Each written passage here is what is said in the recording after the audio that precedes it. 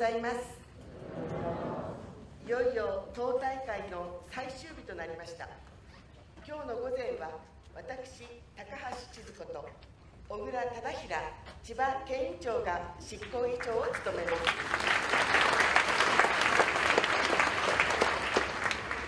最終日の議事に入ります。中央委員会を代表して最初に第29回党大会決議案党大会への挨拶中央委員会報告についての討論の結合田村智子副委員長が行います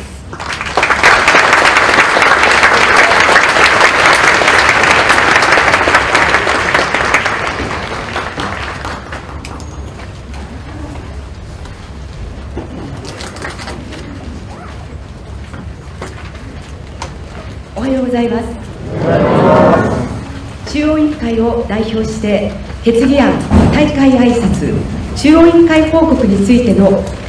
討論の結合を行います。まず能登半島地震についてです。大会初日に石川県委員長から深刻な被災状況と被災地での活動の報告がありました。輪島の党事務所は1階が押しつぶされ当院も避難所や車中生活をしながら助け合って懸命に救援と支援活動を開始しています輪島市の市議鹿町の町議は自ら被災しながら救助や避難所の改善要望など切実な声を行政に届けて奮闘しています。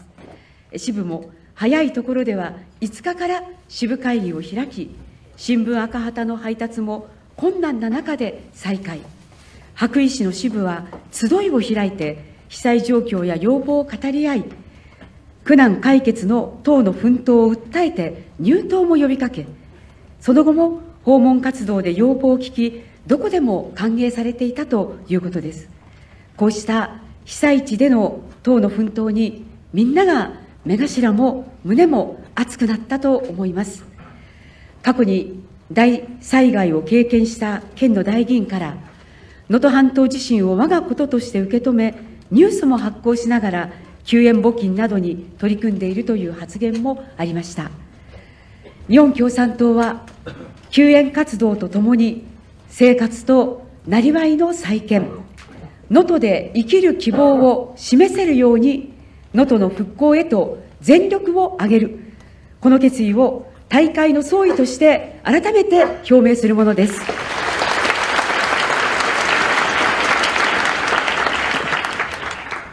大会挨拶中央委員会報告など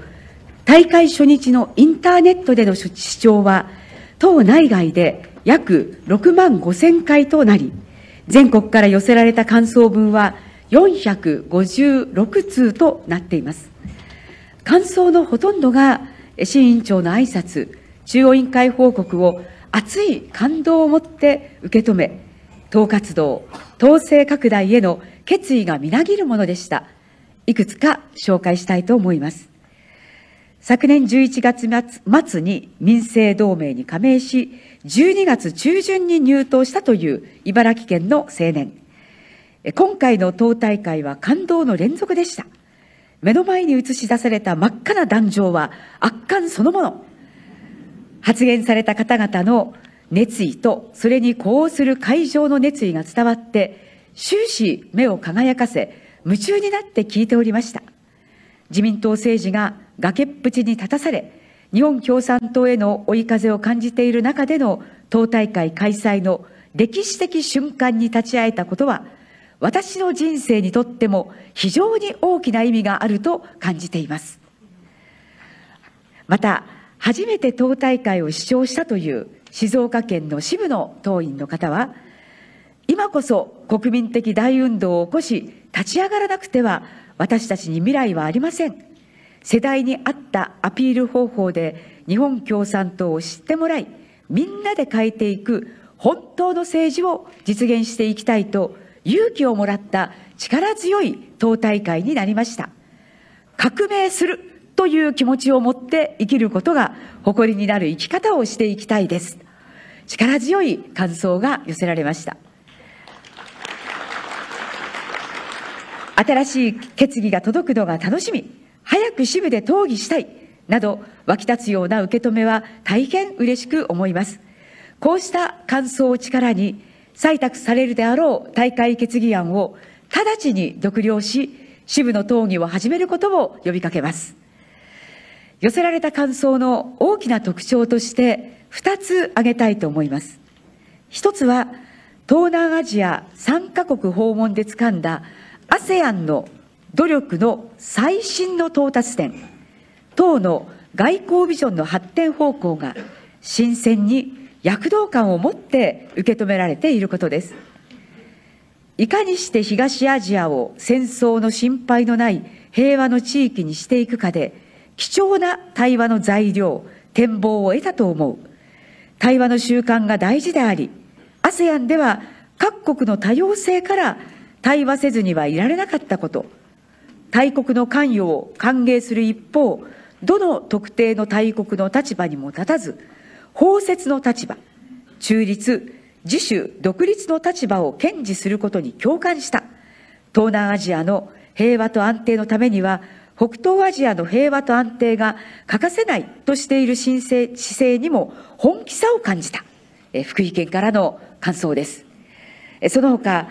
対話の習慣という言葉はとても印象的。分かりやすい。刺激的。対話の習慣を北東アジアにどう広げていくか市民団体とも協力していきたい。など ASEAN の努力が具体的なイメージを持ってつかまれ外交ビジョンを市民の中に広げる意欲も生まれています。今一つは市委員長の大会への挨拶で党勢の交代でなぜこんなに苦労しているのかもっと解明してほしいという前頭討論で出された声に応え党建設の歴史的教訓が解明されたことが歓迎され党建設への新たな意欲が広がっているということです。決議案19項を読んで最大の要因が主体的要因より客観的要因とすれば統制の交代はある意味避けられなかったということになってしまうなともやもや感がありました。そのもやもや感を挨拶の党建設の歴史的教訓が吹き飛ばしてくれました。党中央としての指導上の歴史的弱点を明確にしてくれたことですっきりした気持ちで心新たに党員拡大を根幹とした統制拡大に取り組む決意が湧いてきました。長崎県からの感想です。今後の党建設に生かす教訓がより鮮明になった。若い世代での党員拡大が死活的な問題であることが改めて実感できたなどの声も多数寄せられています。また多数者革命と日本共産党の役割民主集中制の組織原則についての報告がよく分かった。という受け止めも大変多く寄せられています。中には大会挨拶と報告がどうしてこんなによくわかるのか。という記述もありました。中央委員会が決議案を決議案を提案し2ヶ月をかけて全党討論を行ってきました。支部での討論地区党会議都道府県党会議での討論の内容が中央委員会に報告されそこで出された意見や疑問に対してどういう点を深めて解明することが必要か中央委員会で真剣に議論しました。個別に寄せられた意見も目を通しました。その上で大会での挨拶中央委員会報告が行われたのです。一方通行ではない。双方向での認識の発展だからこそ全国からよく分かった。すっきりした。という受け止めが圧倒的に寄せられているのだと確信しています。ここには民主集中性という組織原則の生命力の発揮があり日本共産党ならではの認識の発展過程の醍醐味がある。ということを強調したいと思います次に討論の特徴についてです。大会は3日間の討論で60人が発言しました。全体として決議案、大会への挨拶、中央委員会報告が豊かに深められ、積極的で感動的な討論となり、決議案を豊かに練り上げるものとなりました。野党外交の最前線から ASEAN の力強い発展の姿と北東アジアの課題や核兵器禁止条約第2回締約国会議の成功などが臨場感を持って報告され、海底綱領の生命力への確信がさらに深められました。国会議員、総選挙の候補者からは、自民党政治の深刻な行き詰まりと、日本共産党の出番だという情勢の激論が激、激動の情勢が語られ、自民党政治を終わらせる国民的大運動が全体の決意となる討論となりました。渋谷党機関の党建設の実践では、この4年間、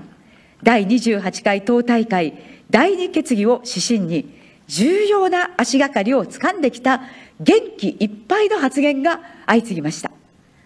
また、前回にも増して、女性の発言が増えて、全体の45%、えー、前回党大会の約10%増となりました。LGBTQ 当事者の代議員の発言も感動を呼びました。多様性を尊重し、ジェンダー平等の自己改革をさらに進める点でも記録されるべき討論となったと思います。発言通告は175通出されました。残念ながら発言できなかった方も用意した発言原稿があればぜひ事務局に届けてください新しい中央委員会の責任で今後に生かすようにしたいと思います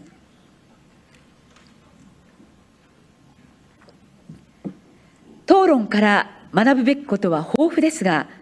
結語では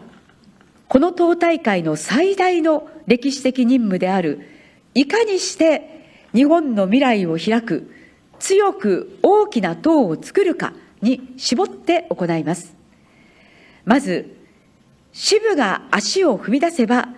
130%の党へ一気に前進できる。この教訓が豊かに示されました。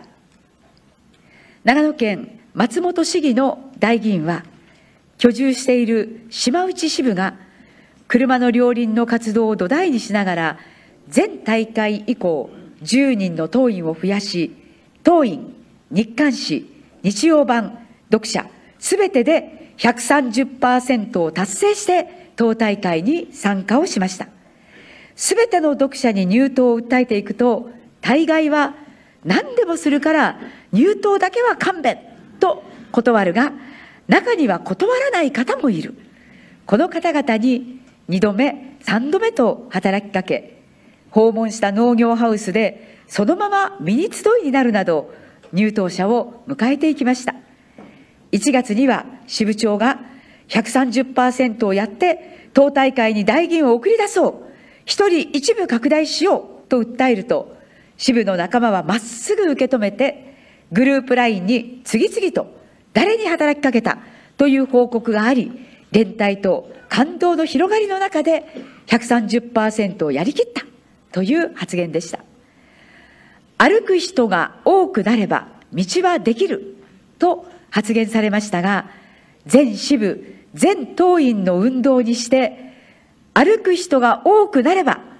130%の山への道ができることを示す発言だったと思います。千葉県市原市の辰巳大地域支部の代議員は、2012年には10名、前回28回大会で20名、今は31名の支部に成長したその奇跡をドラマチックに語っていただきました。党員拡大の日常化、そして継続こそ力という活動は多くの教訓があると思います。えー、支部では2021年4月から関心のあるテーマでコーヒーやパンも用意して毎月集いカフェを開き集いと並行して訪問活動も行い今週は訪問していなかったということがないようコツコツと足を止めることなく継続しているということです。大運動では読者の85%を訪問した。当院は155%に前進した。第30回党大会までに180%を目指します。こういう発言でした。支部が自覚的にコツコツを積み重ねることが飛躍につながるという確信に満ちた発言ではなかったでしょうか。支部が足を踏み出せば130%へ一気に前進できる。この事実は統制拡大運動を全支部の運動にすることこそ大会決議案が提起した目標をやり抜く最大の力だ。ということを示しています。次に地区の経験です。立ち上がる支部を広げていくために地区委員会の活動強化をどう図るか。地区委員長が困難を乗り越えてチャレンジする姿勢。明るく支部を励ます姿勢は党全体を激励することを示すそういう発言がいくつもありました。山口県北南地区の地区委員長の代議員。46年間看護師として命の平等を目指して頑張ってきた力を今度は地区委員長としてさらに衆議院の候補者として発揮し奮闘されています。支部は手紙の返事を書いたが130%はなかなか正面に据えることができず大会で確認したからといって一気にはできない。無理。無理。と言われてしまう。無理にはびっくりマークが2つついて無理無理。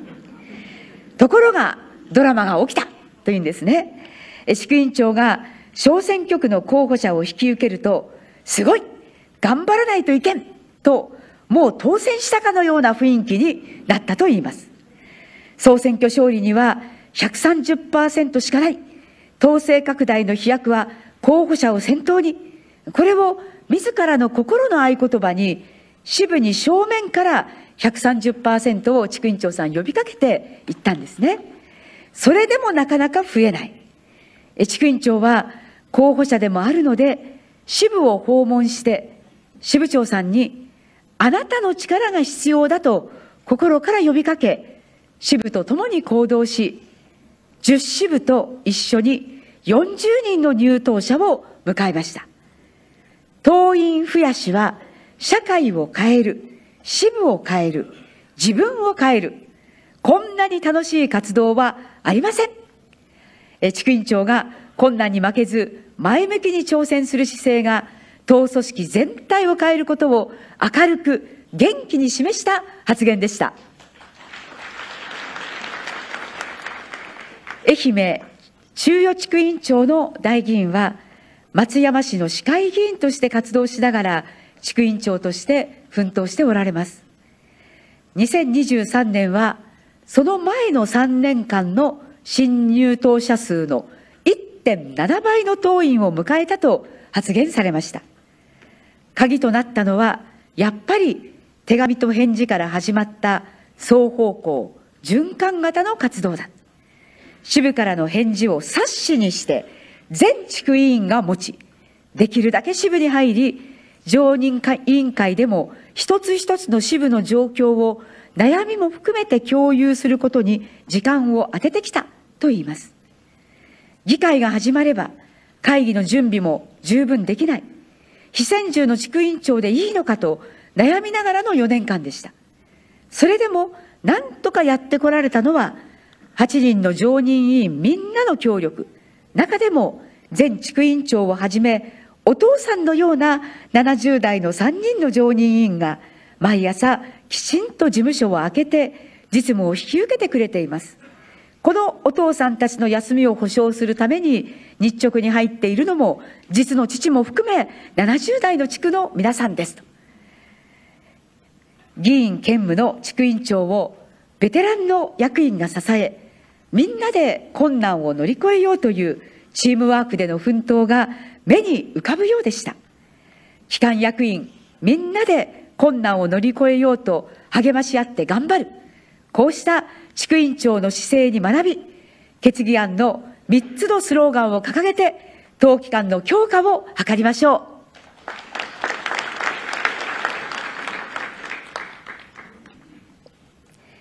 青年学生分野の飛躍的な前進の可能性は、青年学生の大議員の圧巻ともいえる発言で豊かに示されました。東北の学生集合支部の大議員は、2022年8月に3人で再結成した支部が10人の支部になるという目標、この目標を持った時点では倍化、倍化になるという目標を立てて、今7人に前進して、楽しく元気の出る支部活動を続けていることを報告しました。七中層の手紙と返事の運動で、いち早く返事を書き、その中に、今度ぜひ支部に遊びに来てくださいと書いたことから、C 委員長との懇談が実現をした。この懇談で C さんから、倍化に挑戦してはどうか。若い世代にぜひ科学的社会主義の古典学習に挑戦してほしいと提起され、正面から答えて支部活動を具体化していることに心が現れるような思いがしました。週1回の支部会議を行い、毎週1回の民生の班会議も含めて、学生は週2回集まっています。毎月ではなく、毎週集まることで、学生が抱えている悩みや何気ない近況を共有できるので、みんな仲良く楽しい支部会議ができている。こういう発言でした。毎週集まるから楽しい支部会議ができる。これは民生で頑張る皆さんが共通してあげる大切な教訓です。埼玉県委員会で学生担当を担当する、学生分野を担当する27歳の大議員は、28党大会編成から約4.75倍という学生党員の飛躍を作り出した経験を発言されました。民政に入るまでは、首相の安倍さんの名前しか知らなかった学生が、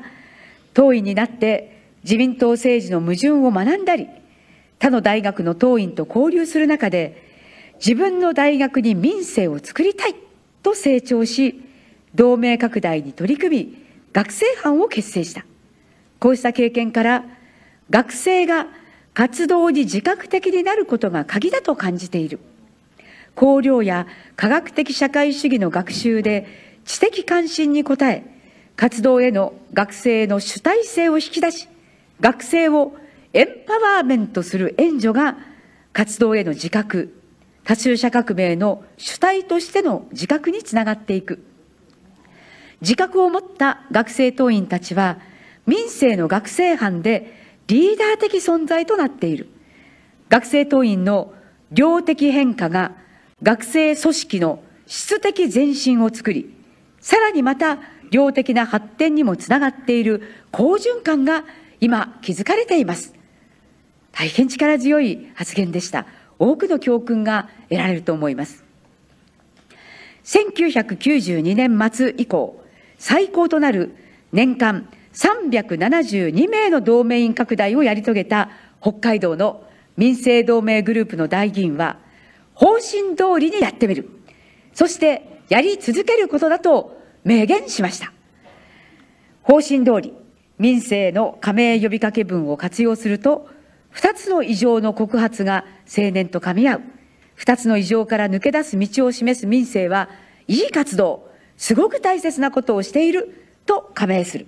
そして方針通り節目標を立てて毎月やりきる。目標と到達に開きがあるときは方針との関係で何ができるのかを党常任委員会で議論して実践してきたとのことです。こうした前進を作るきっかけは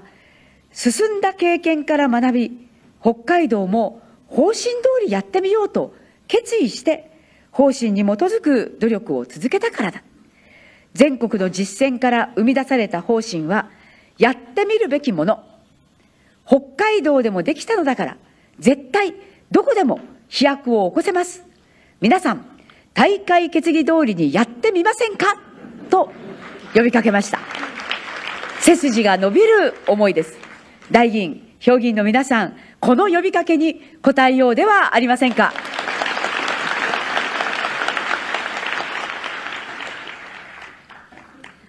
人間の自由こそ社会主義共産主義の目的であり特質という未来社会論が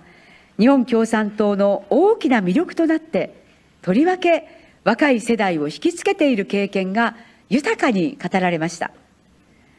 愛知県で青年学生部長をしている大議員は若い世代が党の未来社会論に触れた時の驚くような反応を紹介しました。私の報告で、中央委員会の報告で、高校生3人が愛知県委員会を訪ねてきて、社会主義について質問し、大会決議案第4章の説明に大変関心を持ったということを紹介しましたが、これには続きがありました。2週間後、そのうちの1人が友達を連れてもう一度県委員会にやってきて、人間の自由の3つの角度で深い話になった。社会主義で民主主義が守られる保障はあるのか？など、2時間近く社会主義談義になった結果、マルクスはそこまで考えていたのですか？マルクスすげえと、その場で2人とも民政に加盟。また、名古屋市内のある地区では、街頭での対話から民政に加盟した高校生が、タウンミーティングに友達2人を誘って参加し、C さんの言っている社会主義は自分たちが思っているものと全然違ったと加盟して一気に民政の学園班ができたということです。東京の民政グループの代議員は1年間で833人の同盟員を拡大し過去30年間にない歴史的な到達点を築いた経験から社会主義の3つの角度からの魅力が青年に輝いている。若者の中で大きな党と民政を作る歴史的時期と強調しました。青年の中で経済的な不安が共通認識となっています。だからこそ貧富の格差を広げる資本主義でいいのか、物価高騰で苦しくて何とかならないかと思っていたから社会主義に興味を持ったなど資本主義への危機感が強まり資本主義に代わるシステムへの期待や疑問が広がっていますということです。東京都委員長の代議員も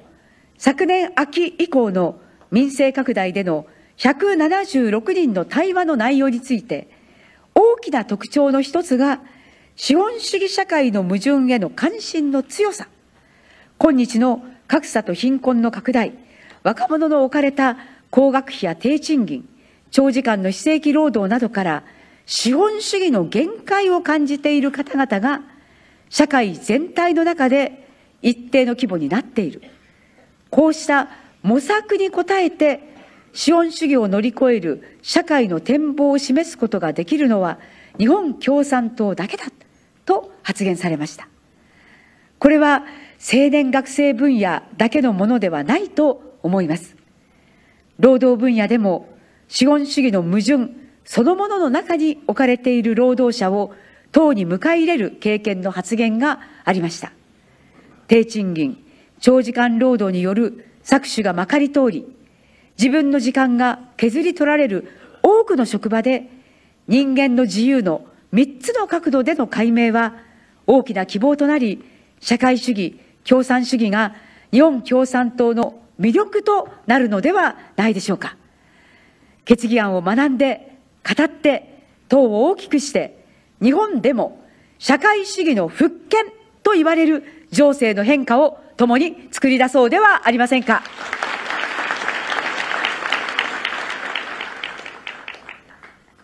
中央委員会を代表しての C 委員長の挨拶では、党勢の交代でなぜこんなに苦労しているのかという思いに応え、およそ10年にわたる新入党員の空白の期間が党建設に大きな傷跡を残していること、党員拡大を後継に追いやる誤った方針を是正した後も、空白の期間がもたらした困難を全党の自覚とし、それを打開する特別の集中した取り組みが行われなかったことを、中央の自己分析として述べました。この提起は、討論で真剣に受け止められ、中央が全党を信頼して、そこまで裸になって弱点を明らかにしたことをしっかり受け止めたい、などの発言が続きました。長野県委員長の代議員は、20年前に遡って問題点を明らかにし、今に生かす、その姿勢に胸を打たれました、と発言し、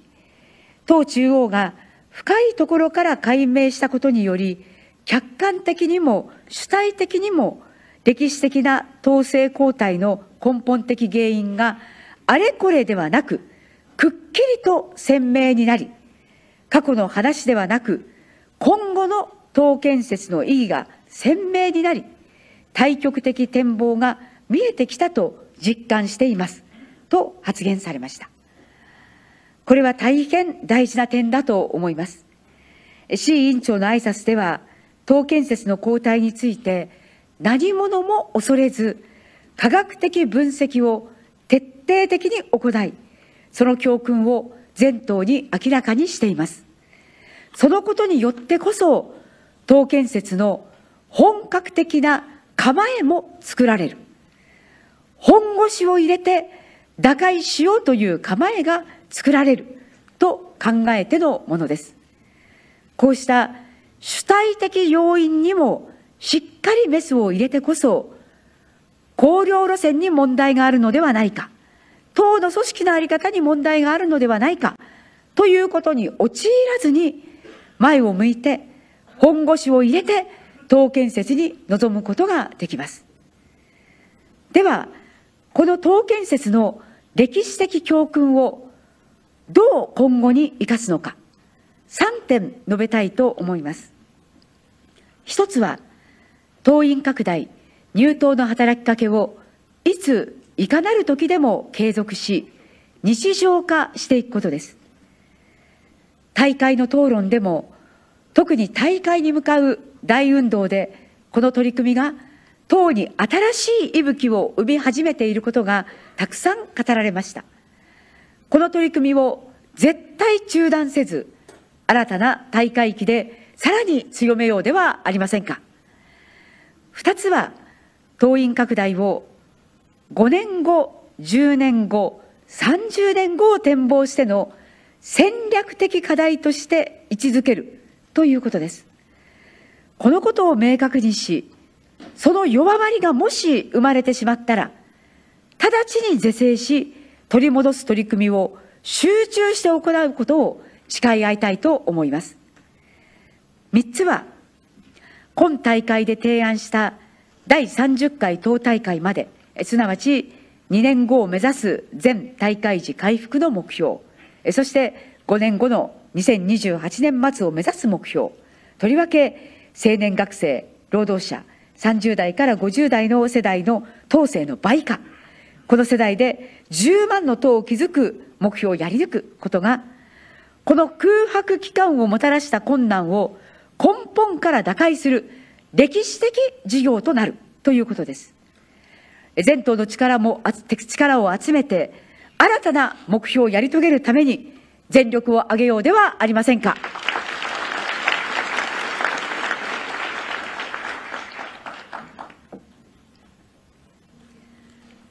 この大会の討論の中で、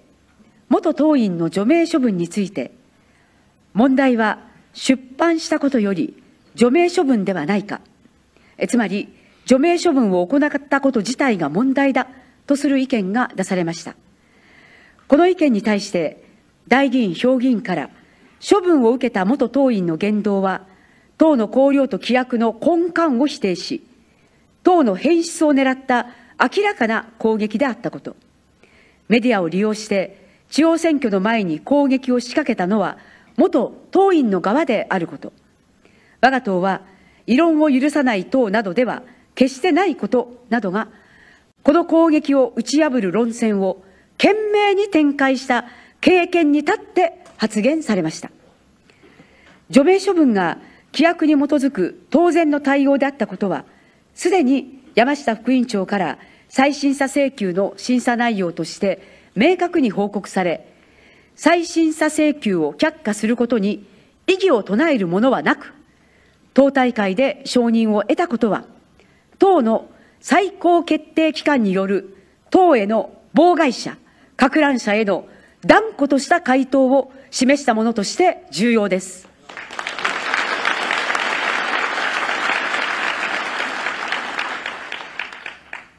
党大会での発言は一般的に自由であり、自由な発言を保障しています。しかし、この発言者の発言内容は極めて重大です。私は、除名処分を行ったことが問題という発言を行った発言者について、まず、発言者の姿勢に根本的な問題があることを厳しく指摘いたします。発言者は、問題は出版したことより除名処分ではないかと発言しながら、除名処分のどこが問題なのかを何も示していません。発言者は、元党員が綱領と規約にどのような攻撃を行ったかを検証することも、公表している党の主張、見解の何が問題なのかも何一つ具体的に指摘していません。発言者が述べたのは、ただ、当該の人がこう言っているということだけです。当該の人が言っていることのみをもって、処分が問題と断じるのは、あまりにも党員としての主体性を欠き、誠実さを欠く発言だと言わなければなりません。発言者は、希望の党の小池百合子代表の排除発言を持ち出して、あの時国民が感じた失意が、今私たち共産党に向けられていると認識すべきとまで発言しました。反共分裂主義によって野党共闘を破壊した大逆流と並べて党の対応を批判するというのは全く節度を欠いた乱暴な発言というほかありません。発言者は除名というのは対話の拒否だと述べ、法説の論理を尊重することは政党運営にも求められていると述べました。しかし、対話を拒否したのは誰か。党を除名された元党員は、自分の意見を一度として党の正規の会議で述べたことはなく、一度として正規のルールにのっとって党に意見を提出したこともない。党内での一切の対話の努力をしないまま、党外からいきなり党攻撃を開始したというのが事実です。ここでも発言者は、批判の矛先を180度間違えていると言わなければなりません。党を除名された元党員の問題は、山下副委員長の報告で詳しく解明したように、共産党の安保自衛隊政策が野党共闘の障害になっている。安保容認、自衛隊合憲に政策を変えよ。民主集中性を放棄せよという支配勢力の攻撃に飲み込まれ、居落とされ、屈服したところに政治的本質があります。当該から出版という形で、党の綱領と規約を攻撃したものを除名処分にしたことは当然です。問題のこの政治的本質を全く理解していないことに、発言者の大きな問題があると言わなければなりません。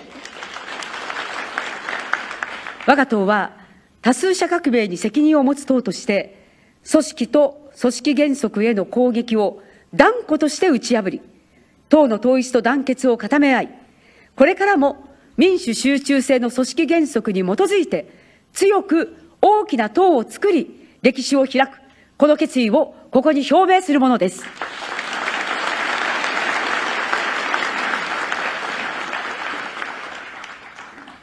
次に決議案の前頭討論、大会への挨拶、中央委員会と大会での討論を踏まえて、修正、補強した決議案を提案します。えー、お手元にお配りしてあるかと思います。決議案の修正補強箇所は、文書で配布している防線部分です。全党討論では1900件以上の意見提案が寄せられましたその多くは決議案の内容を歓迎しその内容をより良いものに練り上げる立場からのものでした。一つ一つの意見提案を吟味し可能な限り反映させる立場で作業を行いました。たださまざまな政策課題を盛り込む要望についてはすでに発表している政策上の見解や活動方針を決議にすべて盛り込むのは難しいことをご了承いただきたいと思います。主な補正箇所について説明します。第1章第1項、丸2、イスラエルによるパレスチナ・ガザ地区への攻撃が、ガザ地区に住むパレスチナ人を第三国へと排除する企図をもって行われているという重大な危機に直面していることを補強しました。第1章2項の丸に、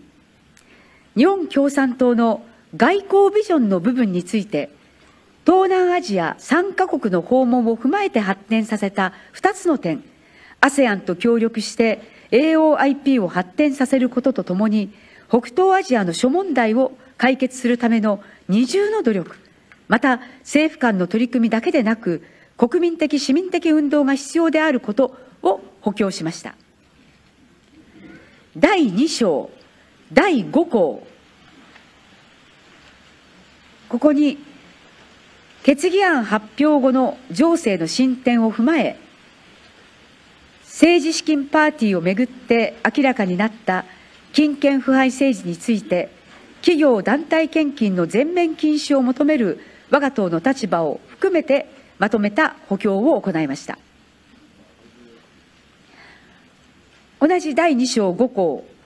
昨年末の国立大学法人法改悪の強行を踏まえ、記述を補強しました。第2章の6項、丸1の部分で、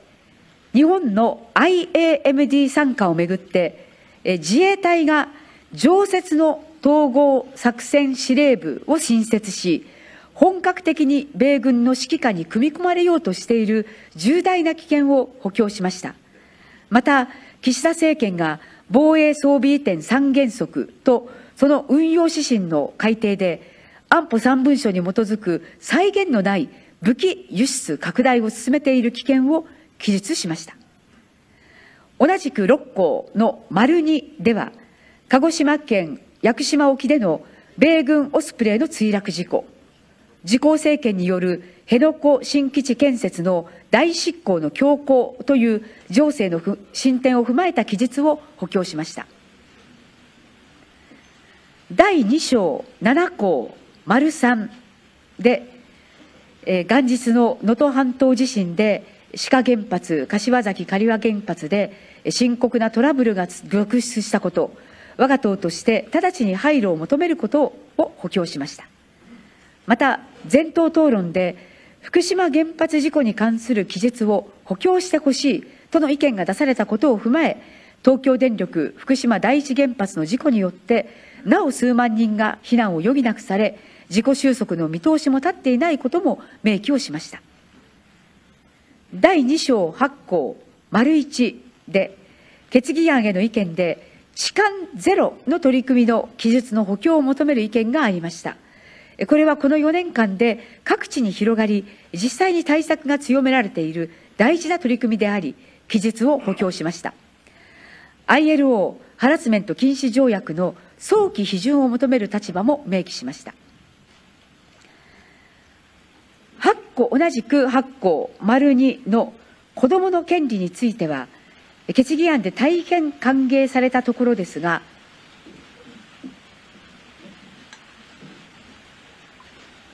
はい、よろしいでしょうか。子どもの権利枠ですね。さらに、全国学力テストをはじめ、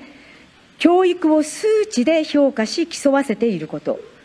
教育の自主性を損なう上からの締め付けが行われていることなどを補強しました。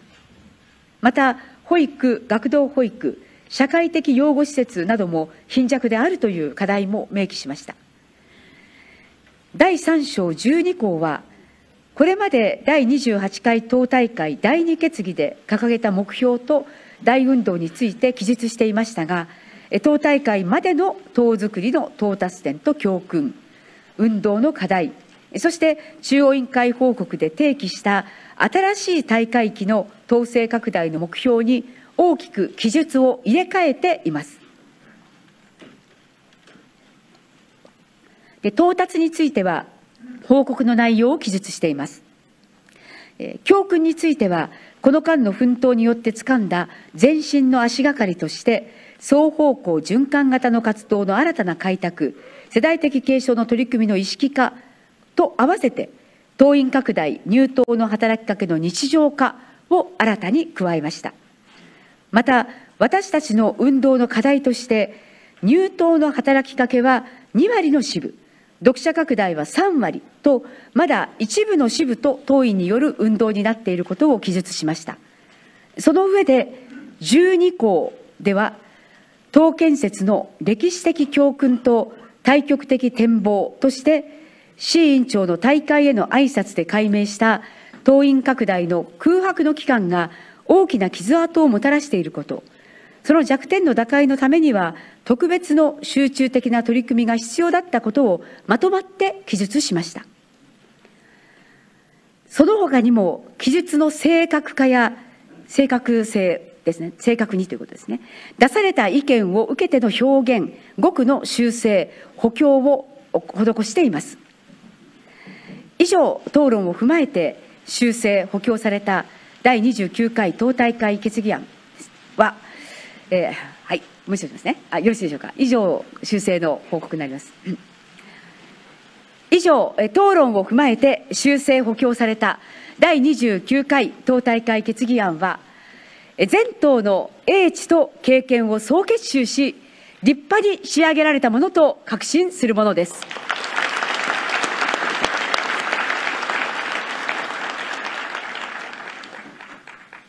大議員、評議員の皆さん、第29回党大会の討論は、大会決議案を豊かに練り上げる充実したものとなったことを確信し、次は採択されるであろう大会決議を実践する先頭に立とうではありませんか。自民党政治を終わらせる国民的大運動を起こし、平和でも暮らしでもジェンダー平等など人権でも希望の政策を広く知らせ、政治を変える展望を開こうではありませんか？政治を大元から変える綱領、国民に責任を果たす組織の在り方を堂々と語り、今度こそ総選挙での日本共産党の躍と躍進を勝ち取ろうではありませんか？綱領、規約、科学的社会主義、100年投資の一大学習運動に取り組みましょう。そして何といっても、新しい統制拡大の目標に向かって、毎月、毎月前進する党になろうではありませんか。第29回党大会期の活動で、必ず党政の前進を確かなものとし、日本の夜明けを切り開くことを心から呼びかけ、討論の決語といたします。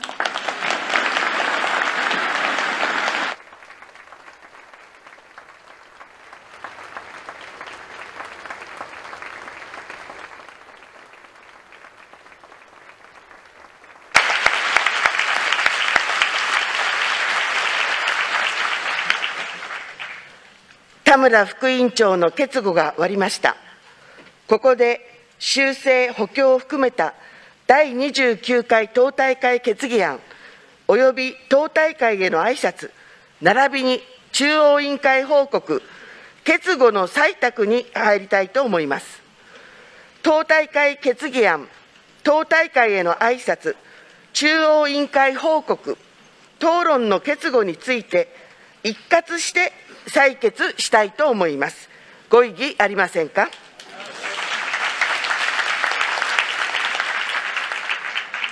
異議ないものと認めます。それでは、要員の方は配置についてください。採決は挙手で行います。代議員の皆さんは、代議員証をご用意ください。採決の際に、代議員証を掲げてください。ご準備いいですか？いいですか？いいですか？はい。それでは、採決の順番は、反対、保留、賛成の順番で挙手を求めます。党大会決議案、党大会への挨拶、中央委員会報告、討論の決後に、反対の代議員は挙手してください。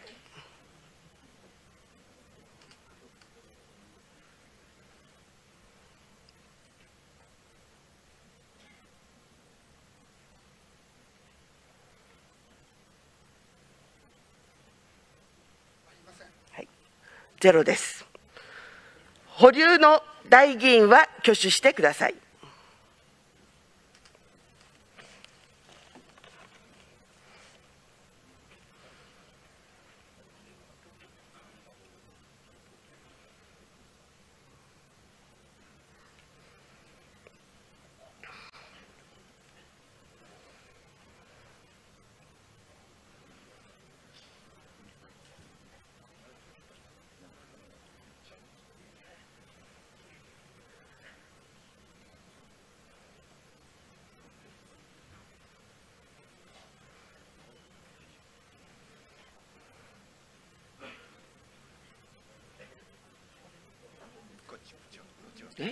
ちもある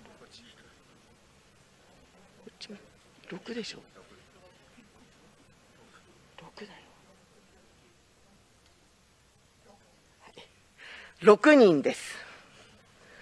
賛成の代議員は挙手してください。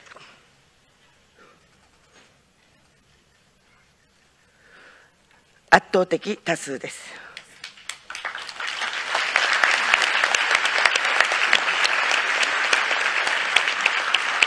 修正修正補強を含む第29回党大会決議案、党大会への挨拶、中央委員会報告、討論の決議は圧倒的多数で採択されました。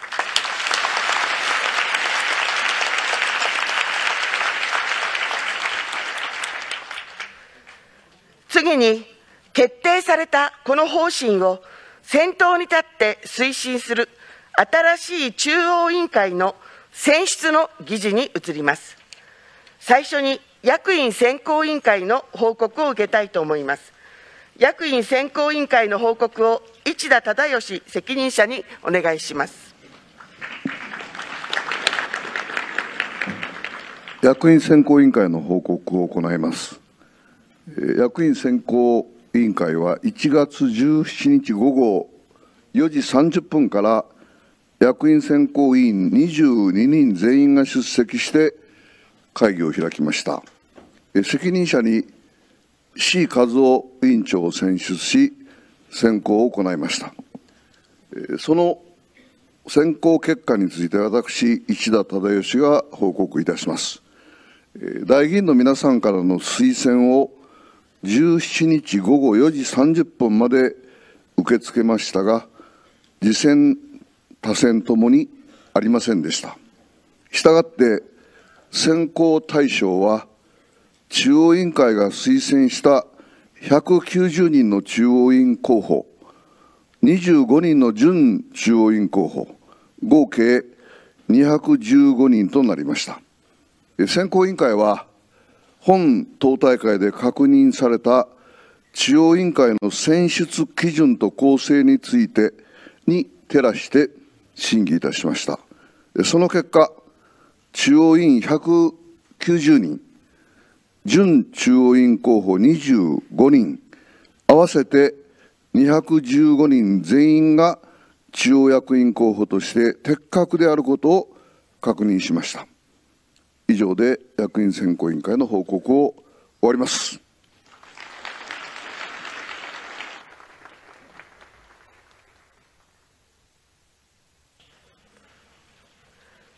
役員選考委員会の報告が終わりました。ただいまの報告にご異議ありませんか？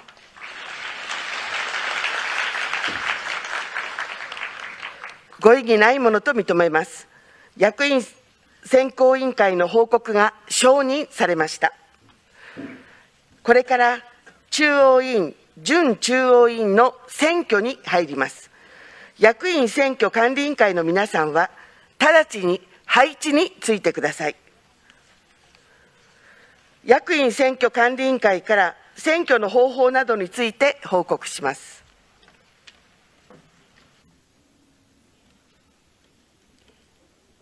役員選挙管理委員会の報告を行います。役員選挙管理委員会は、15日に21人全員の出席で第1回会議を開き、私、上智子を責任者に選び、作業を行ってまいりました。で今回の選挙は次のように行います。あ、ごめんなさい。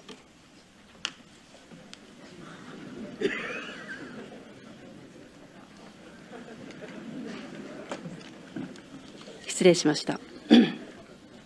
えまず選挙は、先ほど役員選挙選考委員会から提案されました中央委員候補190人、準中央委員候補25人についての信任投票といたします。有効投票数の過半数の信任を得た候補者が当選となります。で次に、選挙の方法についてです。党規約第13条は、選挙は無記名投票による。で評決は候補者一人一人について行うと明記しています。でこれを踏まえて、信任する候補者には、一人一人について丸印をつけます。で信任しない候補者には何も記さないこととします。でこれが投票用紙です。はい。で中央委員は白。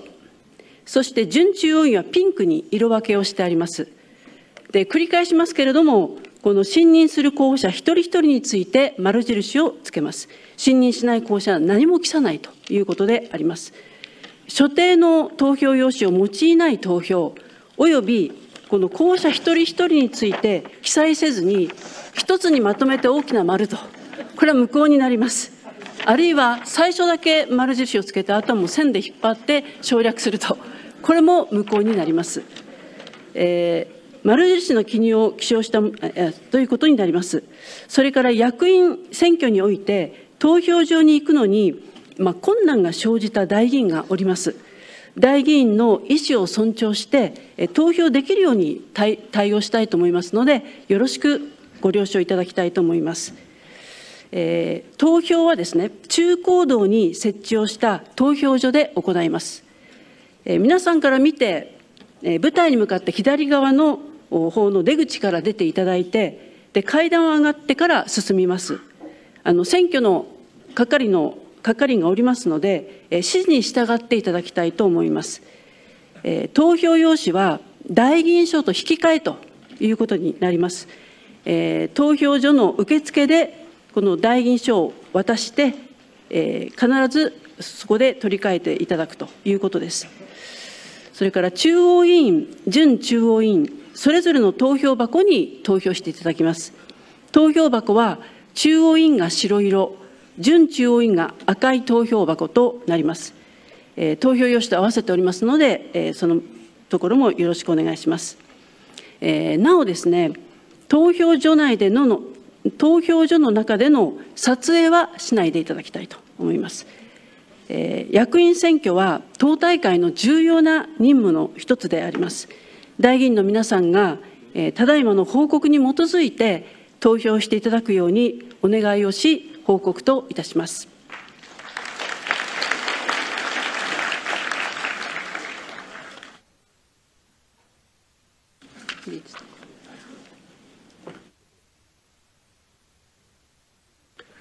ただいまの報告についてご異議ございませんか？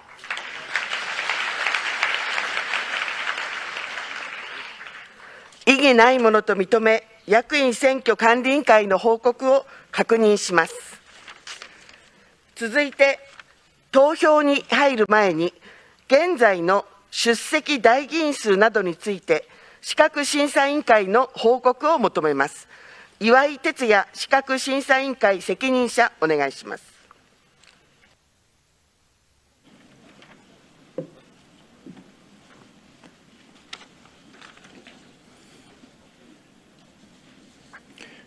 資格審査委員会から報告します。本日午前10時57分現在の大会代議員の出席は648人中636人です。欠席は12人です。第29回党大会は引き続き成立しています。欠席の理由は、病気やご家族の不幸によるもので、やむを得ないものです。特に発熱や体調を崩した代議員の方の状況については、会議中にも連絡責任者を通してお伝えしていますが、発熱者は11人です。この方々には帰宅をしていただきました。その後、このうち4人の方が新型コロナウイルスの陽性と判明をしました。同室の方などについては、医療班、宿舎係、各県の連絡責任者の皆さんと協力して、必要な対応をしていただいています。報告は以上です。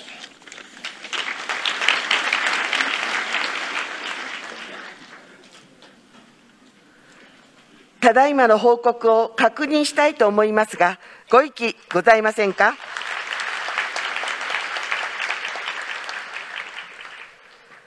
異議ないものと認め、資格審査委員会の報告を確認いたします。では、これから代議員の皆さんによる選挙に移ります。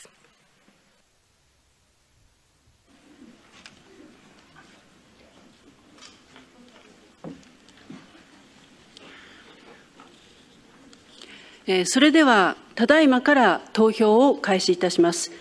えー、選挙管理委員の皆さんは、直ちに配置についてください。えー、投票の順序は、はじめに選挙管理委員、えー、次に大会幹部団、そして会場の代議員という順番で行います。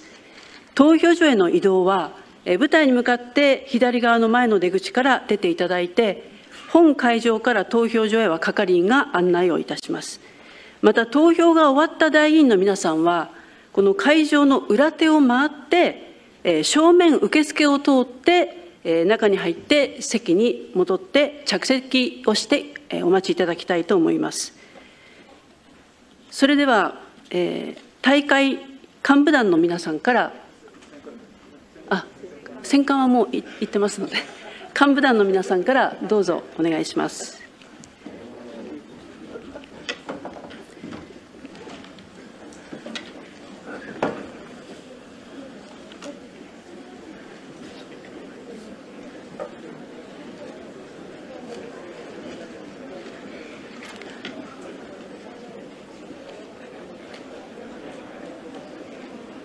はい。それでは、代議員の皆さんはですね、えー、この後まず会場の縦3列、えー、それから大議員席のうち、えー、舞台に向かって、えー、左側の列から先に投票していただきます。で次がこの中央ですね、えー、真ん中の列、そして最後に右側の列の順番で投票いただきます。えー、それでは舞台に向かって左側の列の代議員の皆さんから順番に投票会場に向かってください。誘導に従ってください。あの私も投票してまいります。